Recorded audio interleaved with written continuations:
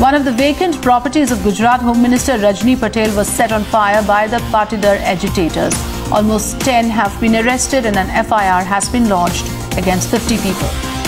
The Patidar community here has said that they are only interested in doing a peaceful agitation and that it is the government which is not cooperating and which is leading to the violence which has been ensuing in Gujarat for the past two days.